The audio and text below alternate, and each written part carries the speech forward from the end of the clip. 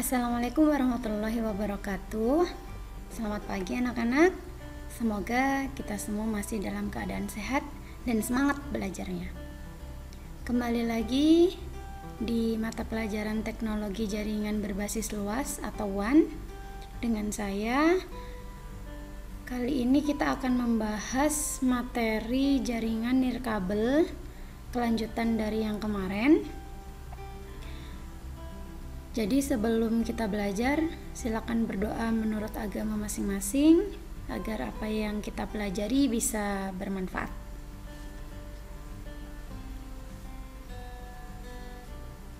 Oke, terima kasih. Kita langsung saja pada jaringan nirkabel yang kedua ini saya akan membahas tentang perangkat jaringan nirkabel, kemudian keamanannya, dan antena. Langsung saja ke submateri yang pertama yaitu perangkat jaringan nirkabel. Di sini saya akan membahas lima perangkat. Yang pertama wireless access point, yang kedua wireless router, kemudian wireless bridge, wireless station dan wireless repeater. Ini adalah perangkat-perangkat pada jaringan nirkabel yang tidak menggunakan kabel. Kita langsung saja ke yang pertama yaitu wireless access point. Perangkat ini mungkin sudah sering kita dengar, access point. Jadi wireless access point adalah sebuah alat yang berfungsi untuk menyambungkan alat-alat wireless ke sebuah jaringan berkabel menggunakan WiFi, Bluetooth atau sejenisnya. Dari gambar ini bisa kita lihat di sini ada access point. Ini access point. Access point ini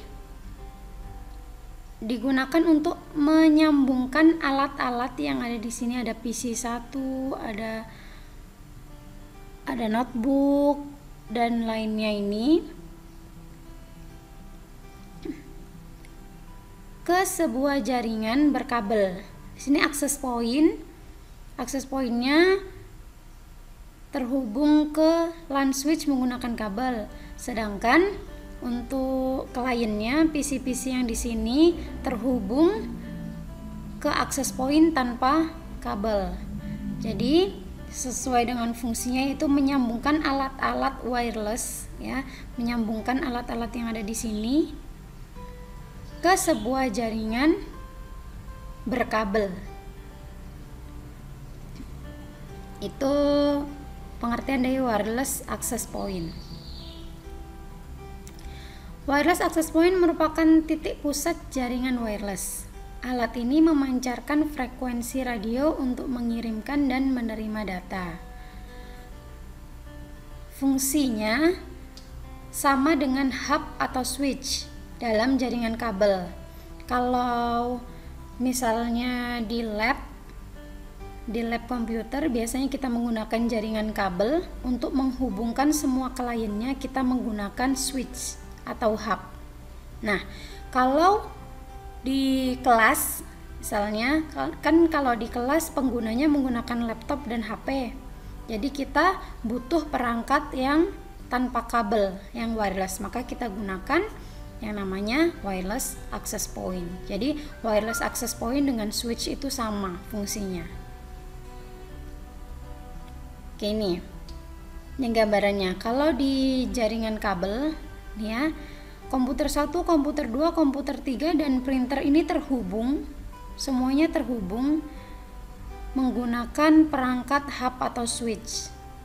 Nah, sedangkan yang wireless access point di sini ini komputer, laptop, HP ini terhubung semua dalam satu jaringan menggunakan wireless access point. Jadi fungsi dari switch atau hub di sini dengan fungsi wireless access point di sini sama. Yaitu menyambungkan semua kliennya. Ini bentuk fisik dari wireless access point ada banyak macam wujudnya tergantung dari mereknya. Ada yang seperti ini ini keluaran D-Link. Di sini yang seperti ini keluaran Linksys. Yang di sini keluaran TP-Link. Kalau yang seperti ini keluaran Cisco. Jadi bentuknya macam-macam tapi fungsinya sama yaitu menghubungkan semua klien pada jaringan. Ada yang menggunakan antena ada yang tidak. Yang kedua adalah wireless router. Saya sudah pernah membahas router sebelumnya. Jadi wireless router merupakan pengembangan dari wireless access point di mana pada perangkat ini fungsi router dapat dioperasikan. Kalau tadi wireless access point itu hanya me menyambungkan, kalau di wireless router itu ada fungsi router yang dapat dioperasikan. Fungsi router apa saja sih?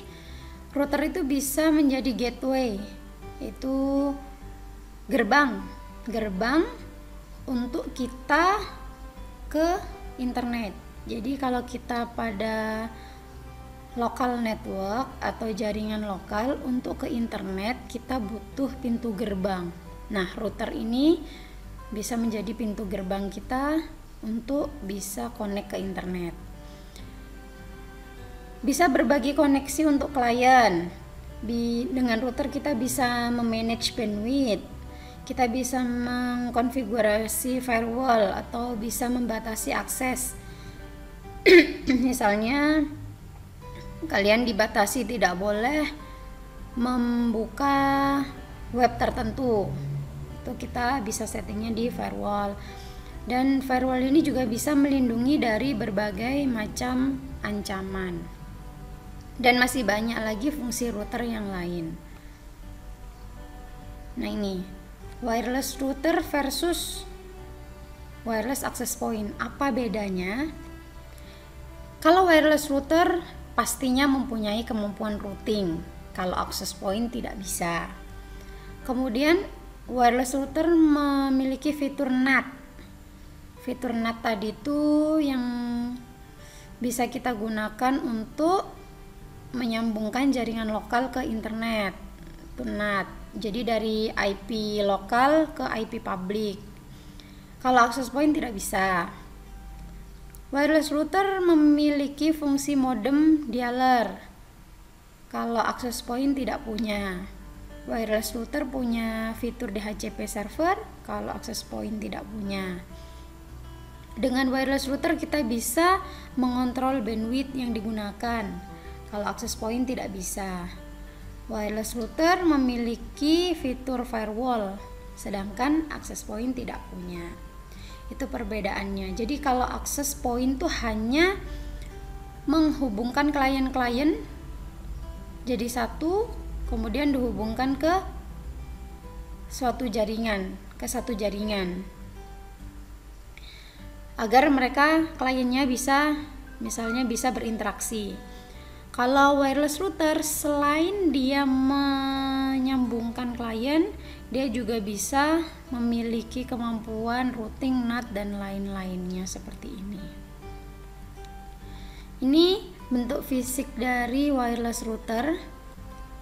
Sama juga beda-beda tergantung dari mereknya. Ada yang antenanya 4, bahkan ada yang antenanya 6, ada yang antenanya 3, 2, tergantung dari mereknya dan ini juga memiliki fitur-fitur yang berbeda di masing-masing merek ini. Wireless bridge dan wireless station. Ini dua hal yang tidak bisa dipisahkan. Wireless bridge dan wireless station ini sama seperti wireless router hanya saja Bridge dan station ini adalah sebuah mode. Kalau wireless bridge itu mode pada akses point yang digunakan sebagai pemancar. Akan tetapi hanya bisa melayani satu klien sehingga disebut dengan point to point. Mode ini juga bisa kita gunakan untuk network yang sifatnya routing atau bridging. Jadi hanya mode ya. Wireless bridge ini hanya sebuah mode. Mode bridge dan mode station seperti itu. Nah, kalau mode station ini digunakan untuk penerima, makanya wireless bridge dengan wireless station itu uh, sepasang kalau wireless bridge tadi sebagai pemancarnya, kalau wireless station sebagai penerimanya. Wireless mode station hanya bisa digunakan untuk membentuk network yang sifatnya routing, dia tidak bisa bridging. Ya. Nah, ini. Ini gambarnya. Jadi misalnya ini wireless ya wireless maaf maksud saya ini akses point akses point keluaran mikrotik akses pointnya di mode bridge nah mode bridge ini memancarkan sedangkan di sisi yang lain di sini ada akses point yang mode station jadi fungsinya untuk menerima sinyal dari mode bridge tadi wireless repeater dari namanya saja repeater. Repeater dalam bahasa Inggris itu kan artinya mengulang. Jadi wireless repeater itu berfungsi untuk mengulang jaringan. Fungsinya apa? Kenapa jaringannya harus diulang? Agar jangkauannya lebih luas. Untuk bisa menggunakan repeater, kalian harus mendapatkan sinyal dari wifi yang utama terlebih dahulu kemudian baru disebarkan dengan sinyal yang lebih kuat jadi seperti ini gambarnya. Misalnya di sini wifi utama. Wifi utama di sini jangkauannya hanya selingkaran hijau ini. Nah kalian berada pada lingkaran yang kuning. Jadi kalian tidak terjangkau nih ke sini. Jadi semakin melemah, bahkan tidak terjangkau sinyalnya. Nah, kita gunakan yang namanya WiFi repeater. WiFi repeater ini diletakkan di jangkauan WiFi utama. Jadi harus dapat dulu sinyal dari WiFi utama. Kemudian dengan WiFi repeater ini dia mengulang sinyal menjadi jangkauan yang di lingkaran kuning ini sehingga total jangkauannya jadi lebih luas. Ini fungsi dari WiFi repeater. Nah, ini juga misalnya di sini ada router, router memancarkan sinyal. Di sini sinyal satu ya dari router. Nah, laptop di sini itu tidak masuk dalam jangkauan sinyal satu yang di yang dipancarkan oleh router sehingga di sini kita bisa memancarkan sinyal dari router ini menggunakan wireless repeater. Dan laptop ini bisa terkoneksi ke internet. Seperti itu. Ini bentuk fisik dari wireless repeater. Ada yang ada antenanya atau ada yang seperti ini saja atau bahkan bisa yang dicolok ke USB aja. Jadi teknologi itu semakin lama akan semakin berkembang. Yang dulunya besar akhirnya menjadi lebih kecil, lebih kecil, lebih praktis. Oke, kita bahas keamanan jaringan nirkabel. Berdasarkan standar IEEE 802.11, proteksi dasar jaringan nirkabel itu harus memenuhi tiga unsur. Yang pertama, confident confidentiality atau kerahasiaan. Yang kedua authentication, yang ketiga integrity.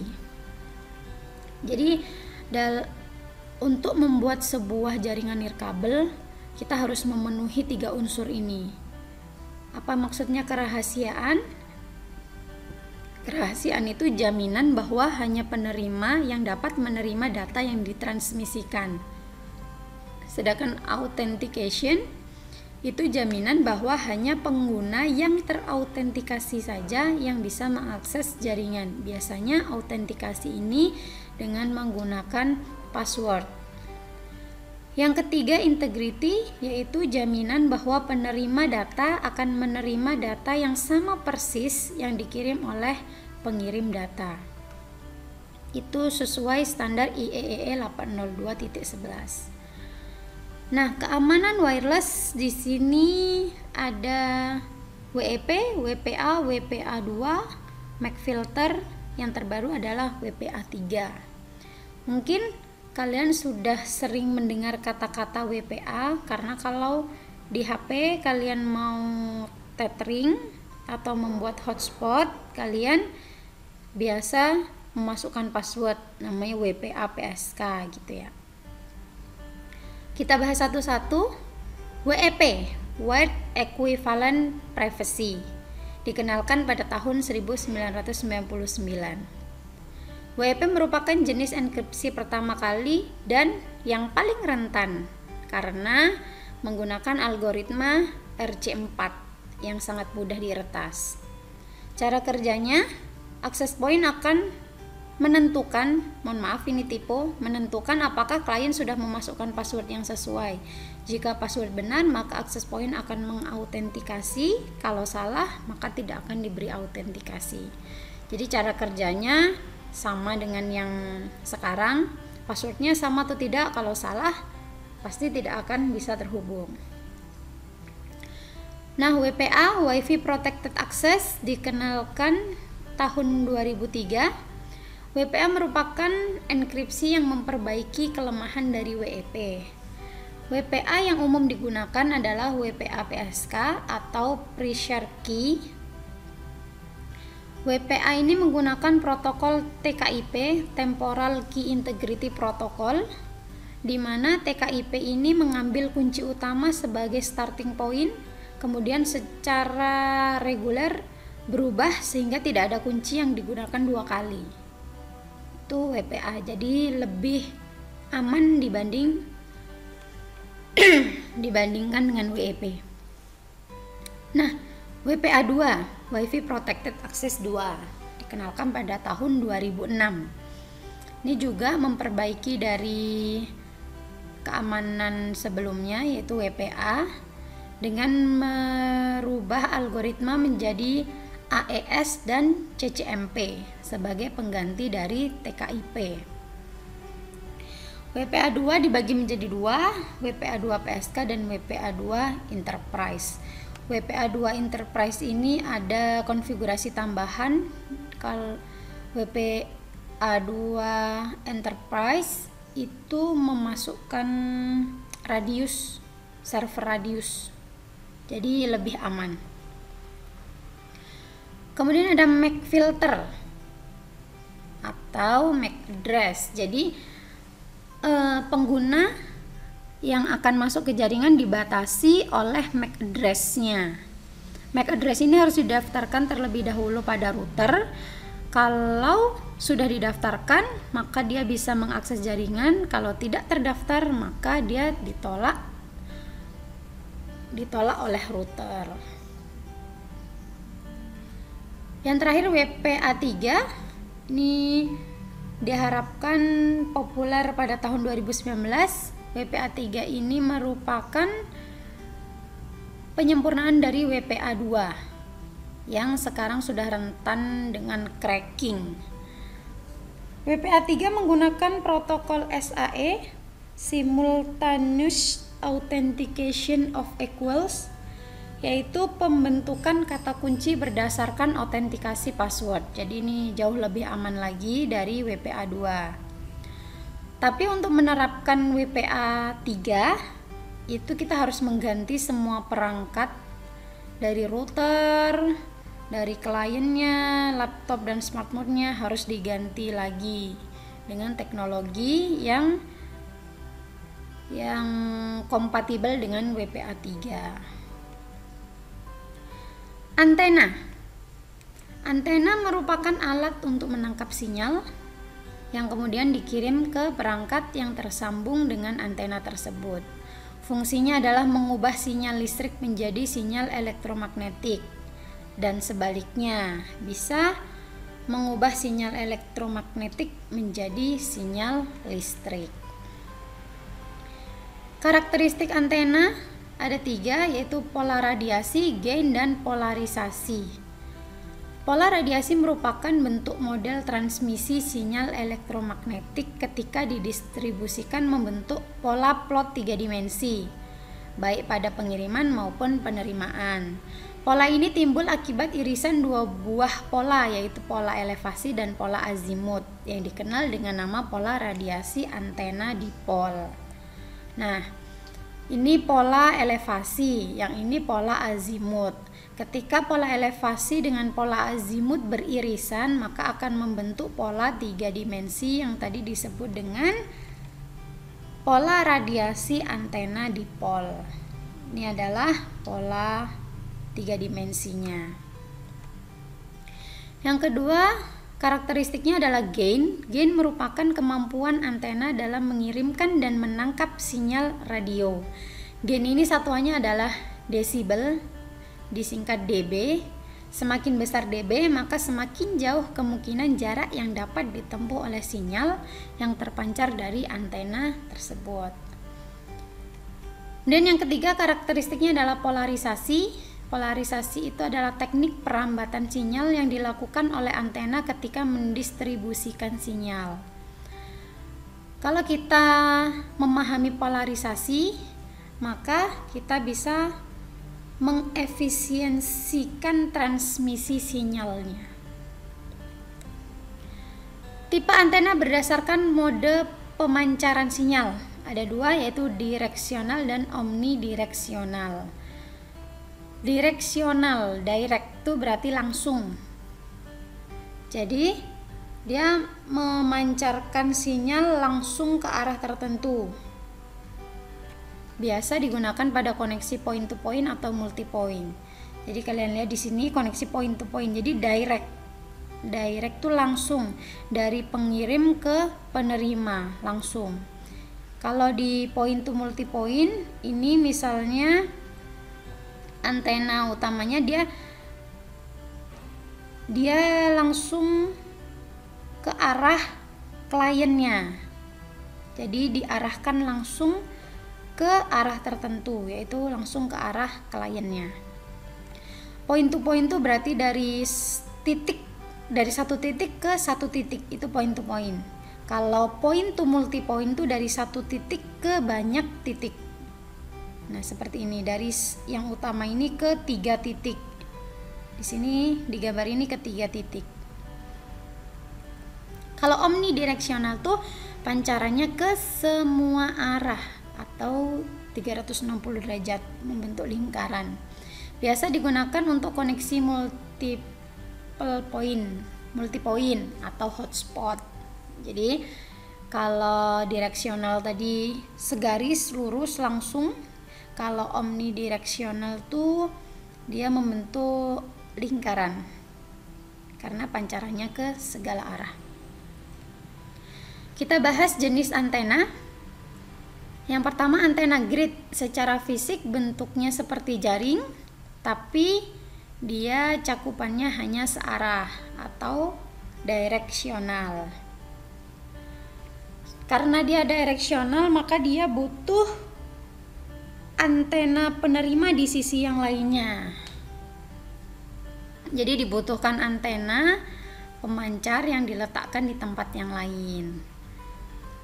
Saat antena grid diletakkan mengarah pada antena pemancar, maka diperoleh sinyal yang kuat. Jadi, misalnya ada pemancar utama.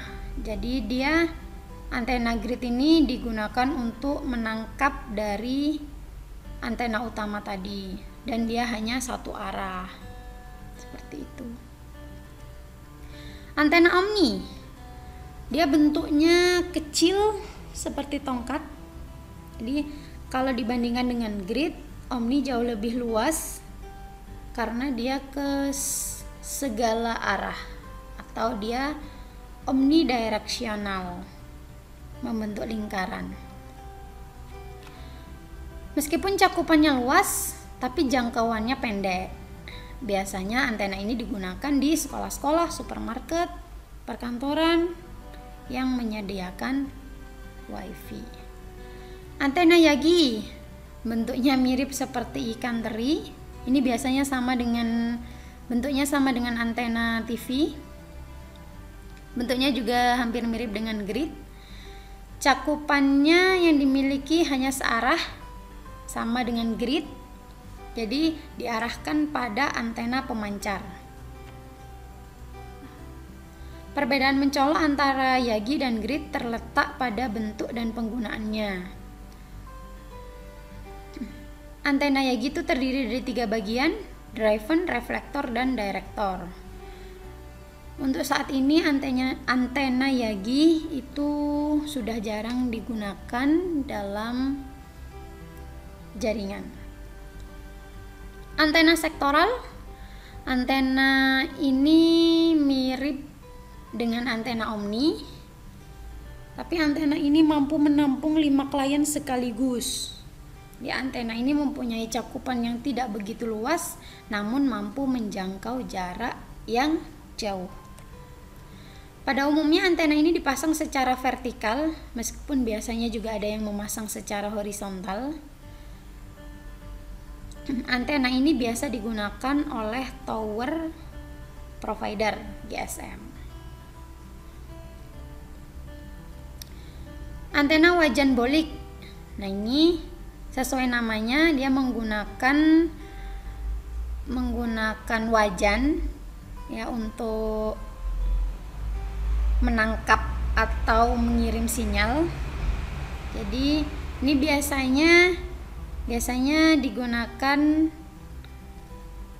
jika tidak memiliki banyak banyak modal jadi kita bisa menggunakan wajan yang ada di rumah dengan bantuan beberapa alat. Jadi kita bisa menangkap sinyal atau memperkuat sinyal. Antena 8 kuat. Secara fisik antena ini tersusun dari beberapa konduktor yang dibentuk menjadi persegi yang dihubungkan melalui batang konduktor utama. Nah, ini batang konduktor utamanya. Jumlah kuat yang terhubung Jumlahnya memang 8, makanya namanya antena 8 quad.